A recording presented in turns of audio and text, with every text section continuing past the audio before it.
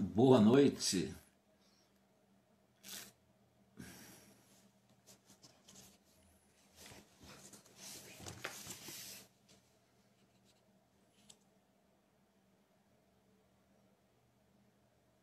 Boa noite. Tá bom, banda?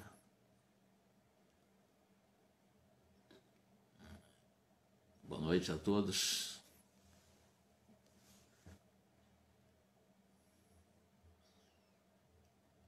Que Jesus nos abençoe. Eu vou aguardar alguns, porque eu acabei entrando ao vivo exatamente às 20 horas e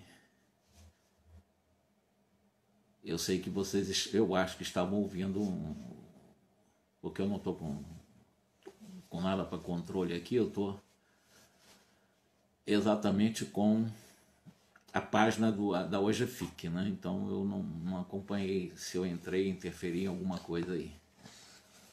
Então boa noite a todos, mais uma vez, que Jesus nos abençoe, que possamos mais uma vez juntos, em nome de Jesus, fazermos muitas reflexões.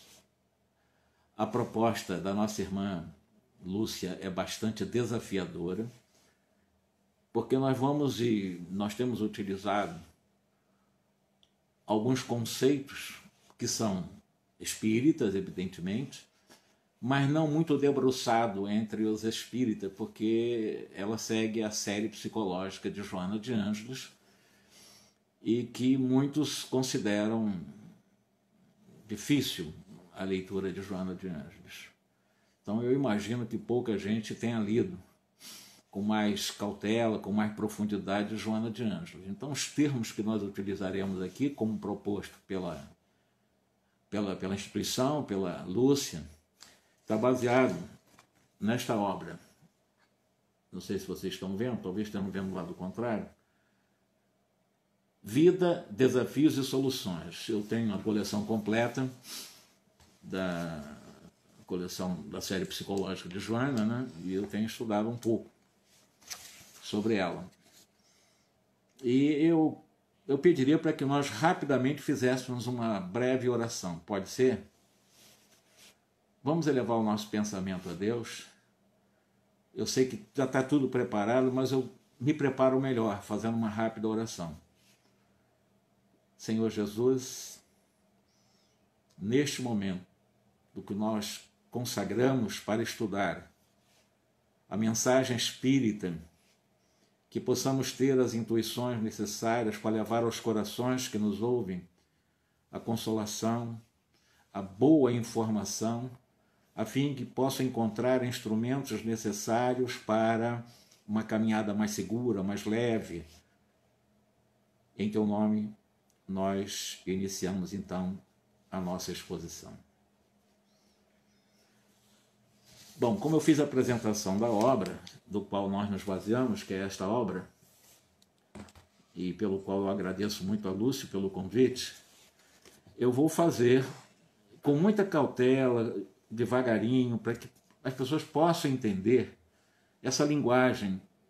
Porque, como eu disse, é uma linguagem para muitos que se torna árida, porque a pessoa não está acostumada a analisar as questões no campo da psicologia, eu não sou psicólogo, sou professor de história, mas eu debrucei e tenho debruçado, e eu vou levar muitas encarnações para compreender até mais profundamente Joana de Anjos. Mas a proposta dela é extraordinária. E não somente isso. Embora eu estou aqui calcado na obra Significado do Ser Integral, que foi a proposta da Lúcia, né? Analisando as bases para a autorrealização nesta obra, desafios e soluções. Então a nossa proposta é essa, com ela, devagar, analisar, frase a frase, se for o caso. Ela começa exatamente a lição do capítulo 5, dizendo que Jesus fez aquela seguinte e conhecida afirmação, está em João. Vós sois deuses. É claro que é um D minúsculo, mas deuses. Para nós entendermos por que há dois mil anos Jesus afirmou que nós éramos deuses, nós temos que ter em mente que antes do próprio Cristo, mil e duzentos e poucos anos antes dele, o próprio Moisés já estabeleceu, dentro das suas codificações de convite à espiritualização do povo hebreu, a ideia de que nós fomos criados à imagem e semelhança de Deus. Isso é um ponto muito importante. É nós analisarmos que nós fomos criados à imagem e semelhança de Deus. Portanto, já trazemos o DNA do divino, já trazemos em essência do perfeito absoluto o DNA do perfeito absoluto. Então, em nossa essência, já existe em latência a própria luz, o amor, a bondade, todos os atributos divinos na sua relatividade. Isso é muito importante nós analisarmos, é começarmos a fazer uma introspecção, uma introjeção, começar a fazer uma alta análise, o que, que eu sou e o que eu estou. Há uma diferença entre o que eu sou em essência, né, provindo deuses, como disse Jesus, que brilha a vossa luz, o reino de Deus está dentro de vós, disse ele. E o que eu estou, que é o mundo egóico, né, que é o mundo da persona, que é o Jorge. O Jorge ele não é, ele está Jorge. Né? Nós temos um nome, mas nós não somos o nome, nós somos essência divina. Então vamos ver como é que ela diz. Jesus afirmou: Vós sois deuses. Então Jesus faz uma afirmação de que nós somos e temos essa centelha divina em nós. Segundo, ele acrescenta que se nós quisermos, vai o verbo querer, lembra-se de que querer é poder, mas nós temos que aprender a querer, já que temos o poder. Mas ele vai e dizendo exatamente: se quiserdes, podeis fazer tudo quanto faço e muito mais. Vamos imaginar o seguinte: será que faríamos mais do que Jesus? Mas ele faz essa afirmação, ele não é mentiroso. Se ele disse que nós poderíamos fazer tudo o que ele faz e muito mais, é que em latência nós temos esse poder. Porque nós já somos, em essência, Cristos também. Em nossa evolução, daqui a trilhões de anos, quando sairmos da humanidade, porque nós já, vivemos em estágios inferiores da humanidade, subracionais. Hoje somos racionais, somos humanos, e mais tarde seremos espíritos puros, anjos, que é a nossa destinação, de todos os seres, sem exceção de um ser. Então, ela vai dizer exatamente isso, né? Que o Cristo disse que se nós quisermos, nós podemos fazer tudo quanto ele fez e até muito mais. Como é que nós podemos entender isso daqui a princípio, conforme analisa Joana de Anjos. Trata-se de uma proposta desafiadora ou uma proposta desafio, destinada, primeiro, ao que estão preparados para conseguir fazer. Quem está preparado para fazer isso? Segundo, tu tem que estar psicologicamente mais amadurecido. Isso é extremamente importante, sob o ponto de vista da sua psicologia amadurecer-se para entender esses fenômenos das informações que nos vêm e a capacidade de ultrapassar esse mesmismo, né? essa coisa da vida material que nos prende, que nos aprisiona, que nos escraviza, que nos faz sofrer, que nos traz tormento, conflitos. Como é que nós superamos isso sob o guante de uma dificuldade econômica? Pessoas que estão passando necessidades, as pessoas que estão vivendo em periferias, estão vivendo nas favelas. Qual o tempo que ela pode dar para fazer esses tipos de questionamento, de autorreflexões? É claro que elas estão passando por essa situação, não por acaso, porque as nossas experiências na Terra, elas têm que ter uma programação. Nós temos um propósito né, dentro de uma programação, e no nosso propósito nós cumprirmos ou não essa programação. E muitas vezes a programação é, é, é, ela, ela é completa, ou ela é complementada, ou ela é muito repleta, melhor, dizendo, de muitos desafios, ou seja, são experiências muito dolorosas. Eu imagino uma pessoa passando fome, como é doloroso, e como ela vai pensar, harmonizando-se consigo mesmo, numa situação de fome, de um estômago cobrando comida, não deve, e não deve, não, com certeza não é uma coisa tão simples assim. Muito fácil para falar. Quem experimenta é que sabe. Quem está passando por essa, por esse grande desafio. Né? E continua Joana. Porém, nós temos que criar alguns movimentos para que nós possamos, dentro dessa autorrealização, tentarmos integralizar, ou seja, tornarmos plenos conosco, em qualquer situação, com problemas econômicos, com problemas, qualquer outro tipo de, de qualquer ordem. Nós temos que, nós somos seres essenciais, porque o problema econômico também é transitório. A pobreza física ou econômica também é transitória, é uma experiência do espírito. Ele não é, ele está num processo de pobreza, né? Mas continuando aqui, ela diz o seguinte: é necessário, então, haver em nós um movimento de autoconfiança. Autoconfiança quer dizer confiança em nós mesmos, certo? Claro.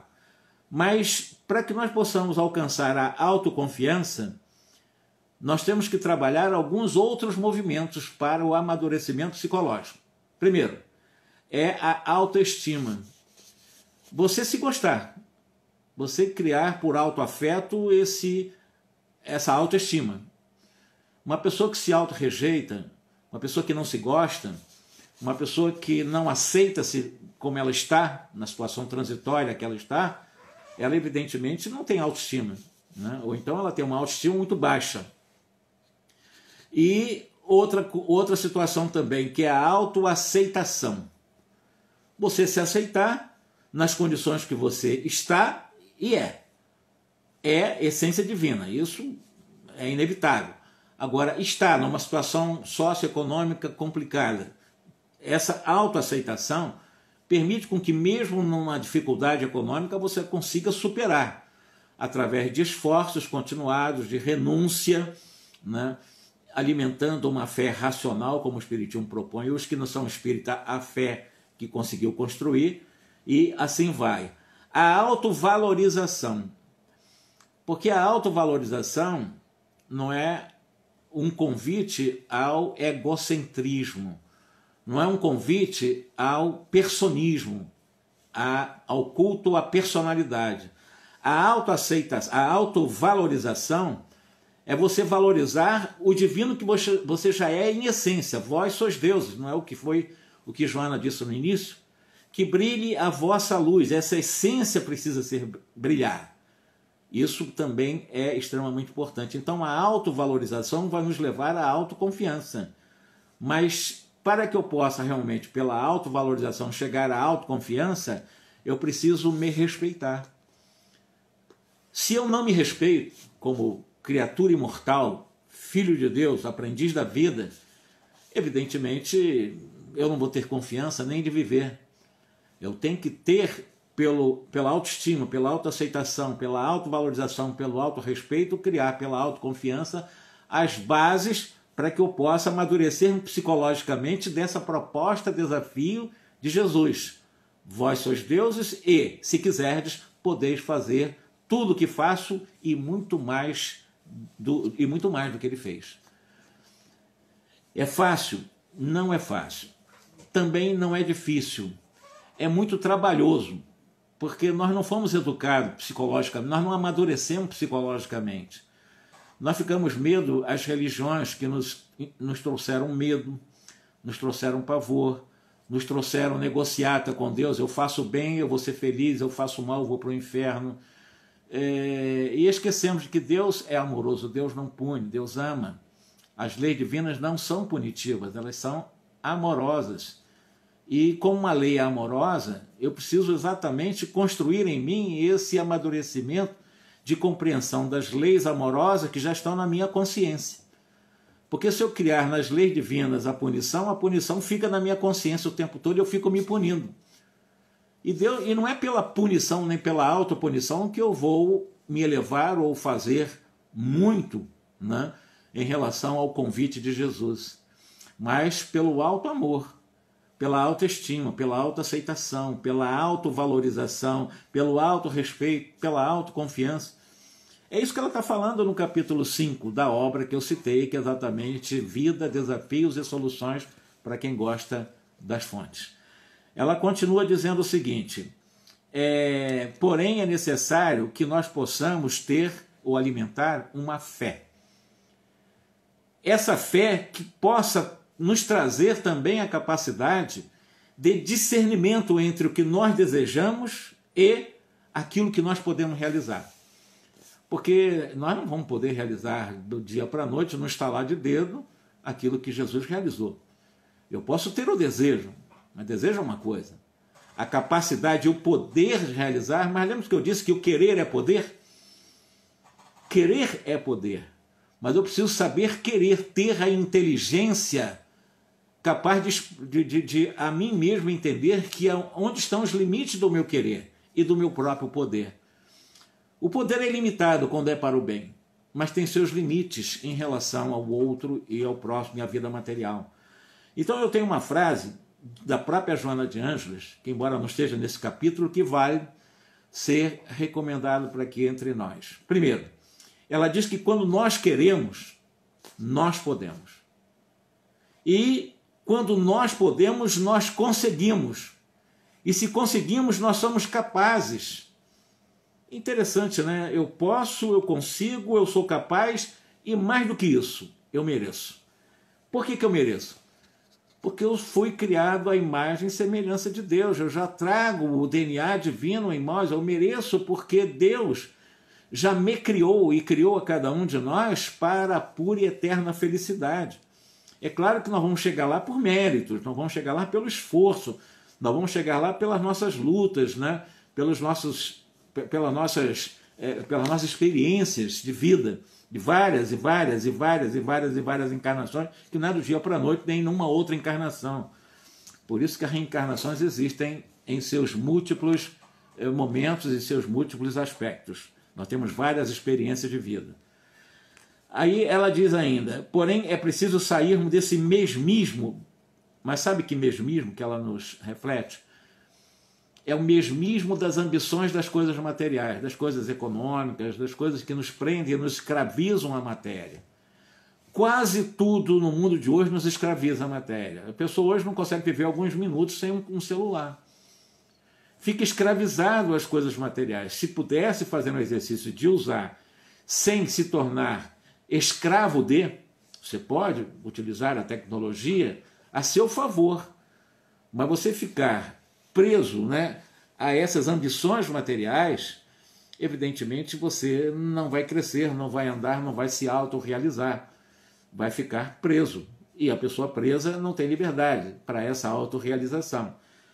Aí ela ainda diz uma, mais à frente o seguinte: é preciso sairmos do mesmismo dessas ambições materiais, identificarmos com o divino em nós e ampliarmos os potenciais que estão em latência em nossa essência. Porém, o que nós temos feito com esses potenciais que somos em essência? Desprezamos. Ou nós não colocamos muita fé, não acreditamos de que nós, em essência, somos luz. De que, em essência, somos amor puro. Em essência, em latência, em nossa origem. Imagem e semelhança de Deus. Só que nós não levamos a sério, nós desconsideramos essas realidades.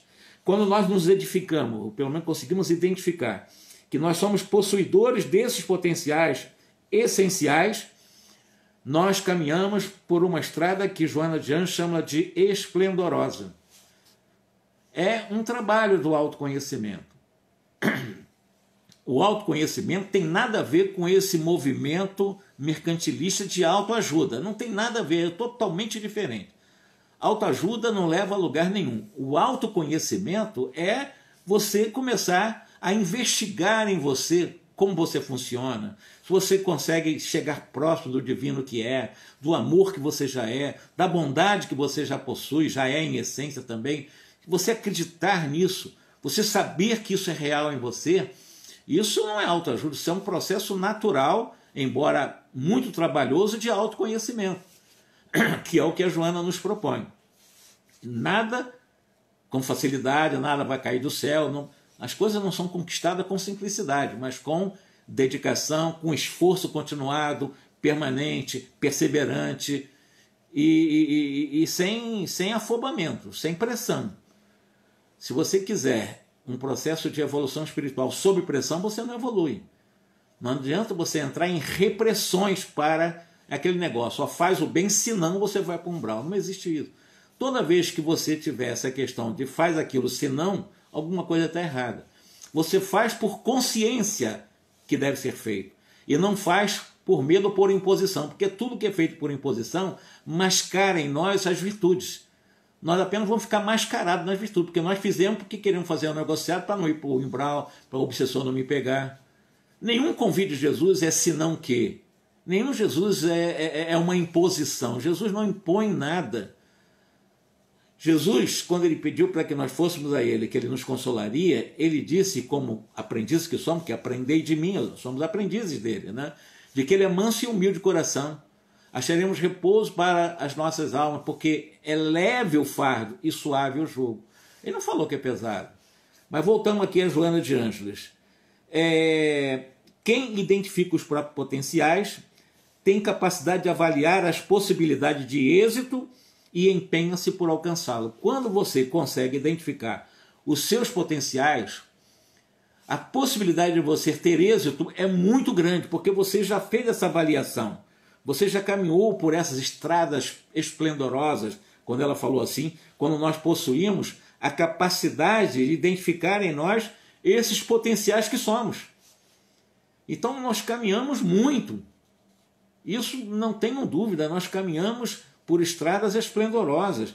Porém, quem desconhece detém-se no pretexto e cai na preguiça moral no contrário daquilo que eu falei agora mesmo. Aí a pessoa começa a dizer o seguinte: eu não consigo, né? eu não tenho, não posso, eu não sou capaz, eu não mereço, e fica nesse negócio: eu não sou capaz, eu não mereço. Uma falsa também humildade: ah, eu não mereço, eu não mereço. Nós somos filhos de Deus, nós temos que sentir esse princípio de filiação divina. Nós somos filhos de Deus. Eu sinto isso? Se sinto, com certeza eu vou desenvolver muito facilmente essa autoconfiança, essa autoaceitação, essa autoestima, essa autovalorização, esse autorrespeito, porque eu já sinto que sou filho de Deus. Isso quer dizer, já me sinto pertencente ao universo, que é a criação de Deus. Né? Continua nossa irmã Joana de Anjos e diz para si para consigo mesmo: eu não posso, eu não consigo, etc. O ser essencial necessita ser detectado em nós e movimentado com confiança e segurança. Os alicerces daquilo que nós somos em essência, elas estão em duas camadas importantes da nossa realidade, estão repousados em duas camadas importantes de nossa realidade consciencial. Primeira camada, que é mais profunda, que ela chama da camada do inconsciente o que, que é exatamente esse potencial do ser essencial que estão estratificado na camada inconsciente? É exatamente todas as experiências de vidas passadas, boas e, e menos boas. Né? Todas as nossas experiências elas vão trazer para nós um arcabouço, uma estrutura de, é, de um potencial muito grande que já há em nós, que são as nossas experiências do passado. Boas ou ruins, mas são experiências experiências. E continua, né? E nas possibilidades do que a Jung chama também de superconscientes, né? aquilo que projeta para o amanhã, para o futuro, para as aquisições que nós temos que conquistar. Então nós temos esse movimento, né? passado e futuro. Se eu ficar preso aos erros do passado, eu estou em um movimento de pós-ocupação. A minha mente está sendo ocupada por coisas que já ocorreram. Então, pós-ocupação. É uma ocupação de coisas que já ocorreram, posterior aos acontecimentos. Se eu ficar preocupado excessivamente com o futuro, com medo do futuro, etc., como é que vai ser meu futuro, eu vou ficar com um movimento mental de pré-ocupação, quer dizer, ocupando a minha, a minha mente de uma forma prévia antes de acontecer. Então, tanto a pós-ocupação como a pré-ocupação, nesses dois movimentos, nessa, nesse, nesse, nessa oscilação entre esses dois polos, nós podemos criar sérias preocupações, ou melhor, é, sérias distonias com o presente. Nós fugimos do presente. Ficamos presos com o passado ou ficamos voando com o futuro. O que, que nós temos que fazer?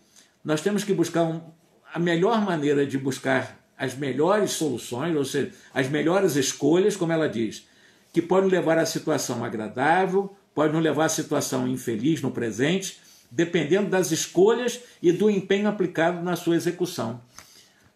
Toda a nossa alegria, toda a nossa felicidade, toda a nossa doença e saúde está profundamente vinculada às nossas escolhas. Não adianta nós culparmos as pessoas, os outros, as situações, o país em que eu nasci, a cultura, a família, porque tudo são escolhas na vida. Escolha vem do livre-arbítrio, é da liberdade. Então nós temos as nossas escolhas. E cada escolha, dependendo dessas escolhas na, que nós possamos aplicar, pode nos levar a uma situação boa, que seria uma situação agradável, ou uma situação infeliz, ou seja, uma situação muito desagradável. Mas dependeu da minha escolha. Eu fiz porque eu quis. Lembra do querer? Querer é poder. Que eu também poderia querer não fazer, que eu também tenho o poder de não fazer. Se eu sei que não devo fazer, por que, que eu vou fazer? Lembram-se de dever é uma lei. Erasto nos ensina muito bem que o dever é o aguilhão probo da nossa integridade ou da própria consciência. Então nós temos que acompanhar a lei do dever. Eu posso fazer o que quiser, mas eu tenho o dever de fazer o bem. É o dever, é o dever que me leva, o dever que me faz trabalhar a razão para fazer o bem, não por imposição, mas por lei do dever. Né? É preciso nós termos a capacidade de discernir os que são os valores reais e os que são de ordem transitórias e os que são de ordem essenciais e permanentes. Quais são os valores de ordem transitória? Eu falei do, das coisas materiais, né? Tem muita coisa que nos prende que são transitórias. Muita coisa, quase tudo da vida material, quase tudo não, tudo da vida material, o próprio corpo é transitório. O corpo não é essencial, o corpo é transitório. O corpo não é para sempre, ele não é permanente. Então eu preciso discernir aquilo que eu estou investindo no que é essencial, que é para sempre, e naquilo que eu estou investindo que é transitório, que não é para sempre. O que, que vale a pena? Investir naquilo que não é para sempre ou investir naquilo que é para sempre? O que, que vai dizer a nossa inteligência? Investir naquilo que é para sempre. Nós fazemos o contrário, investimos, investimos naquilo que é transitório, é o que ela diz aqui neste capítulo. E o que, que nós damos como primazia para conquistarmos? É, a nossa capacidade, por exemplo, o nosso mundo fisiológico, o nosso mundo egóico, que ela chama de egóico, preferirá o quê? aquilo que é de aplicação imediata e transitória. Né? São os sensualismos, o dinheiro, o poder, a beleza. Isso tudo é transitório. E nós não sabemos discernir muitas vezes e optamos por isso. E isso é do mundo egóico, transitório. Isso não vai trazer felicidade. E, e, se trouxer uma euforia supostamente feliz, que não é felicidade, é apenas uma euforia, mais tarde mostra que nós fizemos uma opção errada. A opção tem que ser o essencial toda a nossa opção tem que ser para a nossa essência, a nossa realidade essencial, ou espiritual, que é o que é para sempre, é o que ela lembra nesse capítulo. E mais ainda, já que se eu lutar em condição de essencialidade, eu vou analisar naquilo que eu quero escolher fazer, eu vou optar por tudo que seja permanente. Mas, detalhe, sem desconsiderar os valores transitórios também eu não posso desconsiderar que eu estou na vida material. Eu preciso saber conviver com isso sem me escravizar. É o que ela lembra para nós. Não desconsideremos os valores transitórios, mas priorizemos as coisas essenciais, dedicando-nos né, à conquista de mais valiosos, das coisas mais valiosas que são mais permanentes. Então, ao invés de ficarmos presos às coisas materiais, ao poder, ao dinheiro, à beleza, ao sexo, aquelas coisas todas que nós conhecemos e que trazem alguns conflitos ou muitos conflitos, nós vamos fazer uma escolha, naturalmente, das coisas que vão permanecer, que vão acompanhar-nos para sempre. Por quê? Nós somos seres para sempre, nós somos seres imortais. Nunca mais teremos fim. No momento que nós fomos criados, não teremos mais fim. Então, todo o nosso investimento tem que priorizar o que é essencial, aquilo que vai nos acompanhar para sempre. O que é transitório, como ela diz, eu não desconsidero, mas em termos de valorizar, eu vou valorizar aquilo que é, o que é essencial. O transitório apenas nos utilizamos enquanto na vida social e na vida material, sem nos escravizar. Nesse afã, se identificará com realidades metafísicas e transcendentes. Descobrirá uma coisa interessante que ela lembra aqui, que vocês vão ver que é interessante mesmo. Ela chega a fazer uma afirmação de que o nosso pensamento é poderosíssimo. Agora mesmo, vocês que estão aqui na presença conosco, é... quantas vezes por dia nós pensamos? Já pensaram nisso? Já é um pensamento, né? Já pensaram quantas vezes pensam por dia? Ela traz um número aqui muito interessante que ela chega a dizer que nós temos em torno de 60 mil pensamentos por dia. É muita coisa. É um potencial que nós temos realmente muito, mas muito grande mesmo. Nós sabemos, é uma grandeza, a nossa organização mental é uma grandeza incomensurável. É muito, é um, é um poder muito grande que nós temos no pensamento. O que, que eu estou pensando? O André Luiz, ele diz que o meu pensamento gera a minha ação. A minha ação gera pensamento nos outros. Então, o que eu penso, eu também me responsabilizo por isso. E se eu tenho 60 mil pensamentos diários, como estão meus pensamentos? Aquela ali, né? Quando eu descubro que, como é nobre nós aprendemos a utilizar esse tesouro abundante, quando ela fala tesouro abundante, é o pensamento.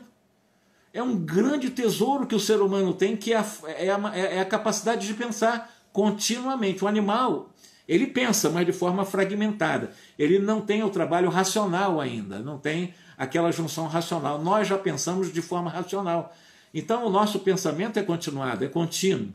E 60 mil pensamentos por dia é um acervo respeitável. Quantas coisas inúteis nós pensamos por dia? Quantas coisas indesejáveis nós pensamos por dia? Quantos pensamentos se perdem em círculos de viciações? Mentais o dia inteiro. Já pararam para pensar? Cada segundo de pensamento faz parte nessa catalogação de 60 mil pensamentos por dia. Não um pensamento grandão, é um pensamento continuado, às vezes um pensamento rápido. Então eu tenho que trabalhar bastante o meu pensamento. E esses pensamentos, sem se perder em círculos de viciações mentais, eu tenho que disciplinar-me, eu tenho que trabalhar a autodisciplina sem depressão e sem repressão. Não, eu tenho que pensar, não é assim também, né? Eu tenho que pensar coisa boa, não pode pensar coisa. Você tem que trabalhar. Quando vir um pensamento ruim, vamos transmutar o pensamento ruim. Né? Vamos fazer as transmutações. Não é reprimir também. Você vê um pensamento ruim, tu joga nos porões da sua subpersonalidade. Daqui a pouco ele volta com força. Não adianta, não é jogar para os porões. Quando vierem os pensamentos, e estão vindo o tempo todo, por que, que eu estou pensando assim? Faz parte da minha natureza ainda. Eu ainda tenho essas tendências. E como é que eu vou transmutar? Se eu estou pensando no mal, vou transmutar no bem. Se eu estou pensando em coisas egóicas, vou pensar em coisas mais essenciais. E é assim que aos poucos, e para isso nós temos milênios e bilênios, para ir trabalhando esse tesouro enorme, né? esse extraordinário tesouro de, é, que ela chama de tesouro abundante de forças da nossa, da, da nossa realidade mental, que são os nossos pensamentos. Aí ela vai dizendo, desperdiçando tempo muitas vezes, desperdiçando muitas vezes oportunidade em pensamentos de lamentações, então ficamos pensando, lamentando. Nós não estamos fazendo, mas estamos pensando, lamentando, estamos nos queixando, estamos com pessimismo, estamos deteriorando as potências do pensamento, e são 60 mil pensamentos por dia. Por que, que eu vou deteriorar esse potencial que eu tenho em mim, que é a forma de pensar, já que eu cheguei ao estágio da razão? Já que eu consigo pensar, já não sou mais um animal, não sou mais um elefante, um cavalo, um cachorro, eu sou um ser humano. Por que não valorizar esse tesouro através de pensamentos mais bem trabalhados? Agora, se eu buscar o sensualismo, o erotismo, a, a, a pornografia, a violência, e buscar essa, essas coisas que vão me dando informação, vão me dando base para pensamentos. Então, se eu buscar isso, eu vou ficar com pensamento nisso que eu estou buscando. Se eu faço boas leituras, se eu tenho uh, uh, o hábito de meditar, se eu tenho o hábito de orar, orar, a gente pode orar todo instante da vida sem nenhum problema, porque a gente pode orar cada segundo, cada momento que eu estou pensando em Deus, nesse Deus interior, nessa coisa maravilhosa que nós temos dentro de nós também, é uma oração. A oração não é preciso blá, blá, blá, blá, blá, não. A oração são os pensamentos elevados, são os pensamentos bons, são os pensamentos daqueles valores que nós estamos aprendendo com a doutrina espírita e com Jesus através do Espiritismo. E agora com Joana de Ângeles também, compreendendo um pouco esses mecanismos. Né? Então ela diz: não vamos desperdiçar. Não vamos utilizar bem os nossos dias de pensamento, reconhecendo a necessidade de que nós somos seres racionais. Nós não somos animais, nós não somos robôs, né? ela usa esse termo, máquina, né? Então, evitar as viciações dando o direcionamento correto. Nós estamos dando direcionamento correto aos nossos pensamentos? Sejamos sinceros conosco. Quase sempre não. Ou nos queixamos, ou somos pessimistas, deteriorando esse, essa forma de pensar mais de uma forma otimista. E, enfim, é, mesmo com a pandemia, eu imagino quantos pensamentos negativos adensados em pessoas que, que, que não, não aceitaram a ideia do confinamento né? e se rebelam contra uma situação que é mundial. É uma situação que a espiritualidade sabe o porquê disso tudo, até pensando em salvaguardar a vida do planeta. A vida do planeta, porque a, a Terra tem vida também. A terra tem vitalidade, os mares têm vitalidade, os rios, os lagos, as florestas precisam viver e nós estávamos matando. E de repente, quem sabe, cinco, seis, três meses de confinamento, respeitando a própria natureza, possamos conviver solidariamente com a beleza que a terra nos oferece, para que nós possamos a espiritualidade, porque a terra ela está vinculada de forma solidária a outros sistemas, né, a outros planetas do sistema solar. Temos que respeitar. Então, o meu pensamento, vendo dessa forma, tira essa oportunidade da própria pandemia como uma oportunidade mesmo de melhorar meus pensamentos, resignar-me e orar, que é o potencial que nós temos, que é a oração, né? que é o pensamento também elevado, para que isso seja minimizado ao máximo pela misericórdia de Deus e que saiamos daí exatamente com uma boa experiência para, repito, também respeitar o ecossistema, respeitar a natureza, respeitar tanto quanto o homem, a natureza que mantém o homem na Terra. Voltando aqui a Joana de Ângelo, se temos a capacidade de superar os pensamentos equilibrados, temos capacidade de promover um clima psicológico de saúde orgânica e de bem-estar, Há muitos anos, alguém disse que o nosso corpo será são se a nossa mente estiver sã. Mente sã em corpo são. E é o que ela está dizendo para nós aqui. Superar pensamentos equilibrados, nós promovemos um clima psíquico de saúde orgânica. Porque o físico, a saúde física, a saúde orgânica é reflexo exatamente da saúde mental, dos pensamentos, dos desejos, daquilo que nós ansiamos, da nossa vontade, dos nossos sentimentos, pensamento, sentimento, vontade. Né? E aí vai. Com essa atitude mental, venceremos vários tipos de medos, inclusive. Porque tem pessoas, e talvez muito nos incluímos nisso, tem medo de ficar doente. Tem medo de ficar doente. Tem medo até de envelhecer. Tem pessoas que têm medo de envelhecer. Tem outros que já são pobres, mas tem aqueles que não são tão pobres, são remediados, têm medo de empobrecer ou então tem medo de morrer. São várias fobias, a pessoa vive sob fobia, consciente ou inconscientemente. Imagine você viver o tempo todo com medo de morrer, de envelhecer, com medo de ficar pobre, ou com medo disso, com isso aqui. Ficar... Se nós estamos falando em autoconfiança, em autoestima, em autovalorização, eu não posso ficar com medo, com fobias. Mas a fobia é apenas reflexo dos pensamentos se eu tenho medo dessas coisas, porque os meus pensamentos ainda não foram superados, com atitude mental ainda não razoável, pelo menos, não de espírito superior que nós não somos. Nós somos humanos, ainda temos muita coisa a ser corrigida. Mas começar a disciplinar um pouco mais, sem pressão, mas espontaneamente, por consciência, os nossos pensamentos. Nada tem que ser sob pressão, repito. Tem que ser por consciência. Se você fizer sob pressão, tu não tem consciência. Não, eu tenho que ser bom, eu tenho que ter pensamento bom. Sai pensamento ruim, sai... vai ficar neurótico. Não é assim. Pensamento veio, como nós somos seres humanos, veio. Como é que eu vou trabalhar esse pensamento? Vamos melhorar o pensamento. Bom, eu não quero isso, eu não desejo isso, não vou alimentar isso. Aí eu vou transmutando amorosamente esses pensamentos ruins em pensamento bom. Isso dá trabalho. Eu não posso entrar em preguiça moral. A pessoa preguiçosa, cruz dos baixos, ela não tem jeito mesmo. Eu não tenho jeito. Não, meu pensamento se alimente de coisa melhor, né? se alimente em termos de boas leituras, né?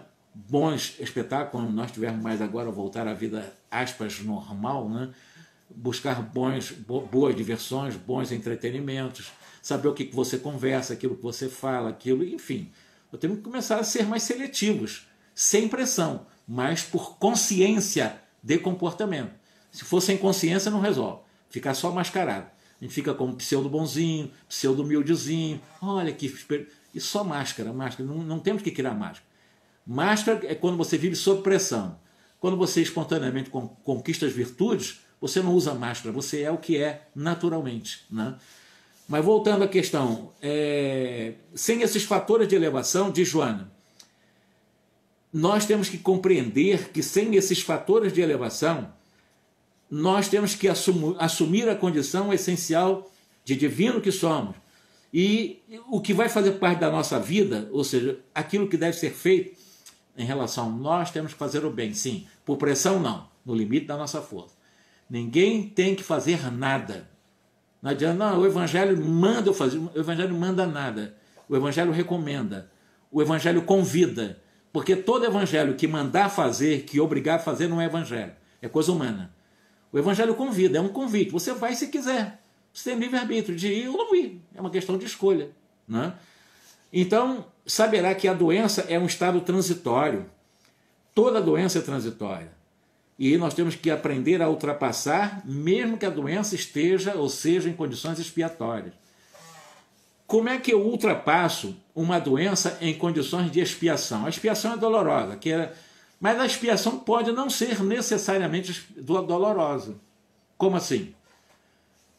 Eu sempre explico em todas as minhas aulas que a palavra expiar vem do latim es, você extrair, pia, pureza, ação. Ação de extrair era pureza. A pureza que você já é em essência. Vós sois Deus, não foi que nós começamos aqui com Joana de Anjos? E que nós podemos fazer o que Jesus fez e mais do que ele fez? Vamos extrair essa pureza dentro de nós. Vamos descobrir esse Deus, embora com D minúsculo, mas esse Deus que já somos em essência. É exatamente por aí que nós vamos aplicar cada vez mais esse poderoso acervo de pensamento, né? e de forma mais profunda, né? que acaba sendo utilizado na construção da nossa plenitude. O meu pensamento vai me plenificar. Como? Selecionando os pensamentos, não reprimindo, mas selecionando. Vem um pensamento sensual, vem um pensamento de poder, de ira, de queixa, de revolta, de medo. Vamos transmutar isso devagarinho, vamos transmutando. Não é isso que eu desejo, não é isso que eu quero. Né? É a questão do querer. E se eu quero, eu posso. Se eu posso, eu consigo. Se eu consigo, eu com certeza absoluta eu vou conquistar de qualquer maneira. Eu sou capaz. E se sou capaz, o ápice do processo. Eu mereço. Eu tenho que me sentir merecedor das coisas boas da vida. Eu tenho que me sentir merecedor. Embora, para ser pura e eternamente feliz, conforme a questão 115 do Livro dos Espíritos, eu vou ter que trabalhar por isso. Uns vão mais rápido, outros menos rápido, mas de qualquer maneira nós chegaremos lá. Mas eu fui criado com essa destinação, quer dizer, isso é um princípio. Deus já me criou para a felicidade. Agora, a conquista da felicidade em maior ou menor tempo, o tempo de duração para chegar à felicidade, vai depender da minha escolha. Mas eu já fui criado para isso. Eu não posso é criar preguiça moral. Cruzar os braços, não, eu já, Deus me criou para ser feliz. Eu, enquanto perdurar a minha preguiça moral, eu não serei feliz. Agora eu já posso ser feliz na terra. Preciso esperar chegar entre os anjos e ser bem-aventurado. Eu já posso viver na terra uma felicidade relativa que é esse autoacolhimento amoroso, você se aceitar, você se autorrespeitar, você se autovalorizar. Isso é uma coisa maravilhosa, você já se gosta, você se autoestima, você cria base de autoconfiança. E você com confiança, você não teme nada. Eu cheguei a falar ontem, foi ontem, acho que foi ontem, hoje é quase foi anteontem, no Voluntário da Paz, sobre autorrejeição. Que é exatamente o contrário, as pessoas que se autorrejeitam, ela fica o tempo todo achando que são nada, fica com baixa estima, achando que são menos que os outros, ou então com autoestima exagerada, acha que são mais do que os outros, mas tudo por auto-rejeição. Né? Então nós temos que nos auto-amar, nos auto-acolher amorosamente. Afinal de contas, repito, nós merecemos a felicidade relativa, mas merecemos. Para isso, nós temos que ir construindo. Eu só serei feliz a, a, a, à medida em que eu trabalhar a felicidade em mim. Eu só transmito felicidade, quando digo transmitir, assim, eu irradio felicidade. porque eu não vou conseguir dar felicidade para ninguém. Nem ninguém vai me fazer infeliz, nem eu vou fazer ninguém infeliz. Isso é uma conquista, uma conquista interior. Porque tem pessoas que dizem assim, ah, mas ele me faz muito infeliz. Não, ninguém me faz infeliz. Ah, ele me faz muito feliz. Da mesma forma, ninguém me faz feliz.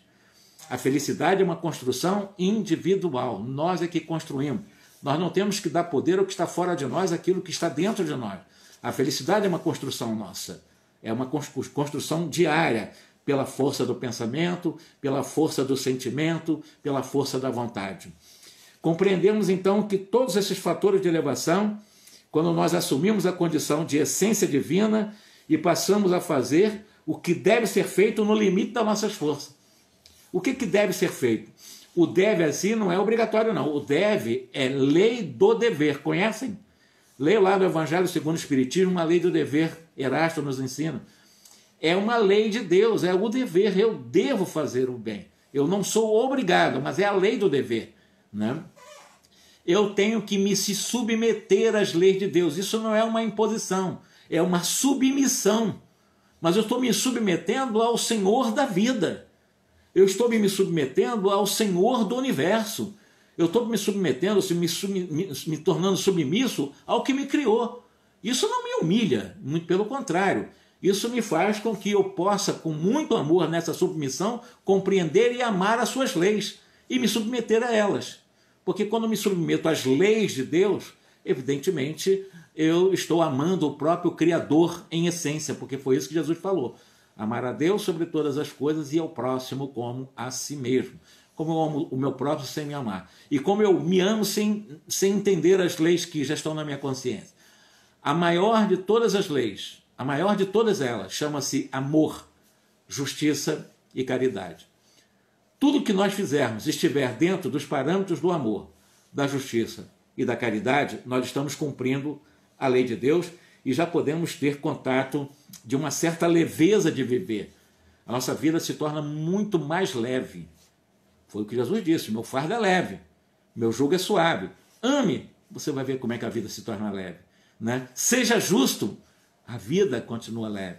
E seja caridoso. E qual é exatamente a dimensão da caridade, conforme Jesus ensinou? É exatamente aquela: fazer aos outros aquilo que os outros façam para mim. Não é isso que ele ensinou? Exatamente isso, é fazer aos outros o que queremos que os outros nos façam. Esse é o âmbito da caridade, do justo e da justiça. Da justiça está ligado a direitos e deveres, que eu falei ainda há pouco aqui. Qual é o meu maior direito? Direito, porque eu fui criado com esse direito já, questão 115. O meu maior direito é a felicidade. Eu já fui criado para a felicidade, já tenho direito à felicidade. E qual é o meu maior dever? Erasto, voltamos a Erasto, né? questão do dever. Eu, para ser feliz, eu tenho que cumprir os meus deveres. Então, o meu maior direito é ser feliz e o meu maior dever é ser feliz. Eu tenho o dever de ser feliz também. E assim vai, conforme nos ensinam os espíritos através do Evangelho, segundo o Espiritismo. Nós somos espíritos imortais. As manifestações físicas, as manifestações orgânicas, as nossas manifestações mentais fazem parte daquilo que também é transitório, é impermanente, não ficam para sempre da vida material. Então não se justifica estarmos alimentando medo de doenças, medo de envelhecimento, né? Como ela fala, isso é a Joana que está falando aqui, né? E compreendermos que, no caso do envelhecimento, quando ela fala o envelhecimento não deve inspirar qualquer tipo de receio. A beleza de cada fase da nossa existência física encontra-se na atitude interior de superação dos apelos do mundo externo. Quando nós vamos envelhecendo, nós começamos exatamente a, por uma atitude íntima, a superar todos os apelos da vida material, da coisa externa. O envelhecimento nos dá sabedoria, como ela fala, né? E, e assim nós vamos crescendo sem medo de envelhecer daqueles que conseguem envelhecer. Tem muitos jovens morrendo, muitas crianças morrendo, desencarnando, né? E perceberemos que, por exemplo, a questão do medo de empobrecer. Ah, não quero ficar pobre, não posso ficar pobre. Estou pobre no sentido de miséria mesmo. Né? Então ela lembra o seguinte: de que a verdadeira pobreza também não é a econômica, não é a falta de dinheiro. A verdadeira pobreza é a pobreza interior, daqueles que perdem os anseios de crescimento e realização interior ou íntima. Esses são pobres. porque eles não têm sequer anseios de crescimento e realização, são vazios. Não se sentem pertencentes ao universo, embora tenham dinheiro, abarrotados de dinheiro e de, aspas, facilidades materiais. Não traz felicidade, isso é pobreza. Né? É, e enquanto que a pobreza mesmo, a limitação econômica, ela pode ser contornável. De que forma? Né? Nós temos superar através do trabalho. O trabalho gera recursos, embora transitório, para sairmos transitoriamente também da pobreza. Mas enquanto eternamente, é, é, internamente, nós temos que aprimorar o sentido de vida permanente.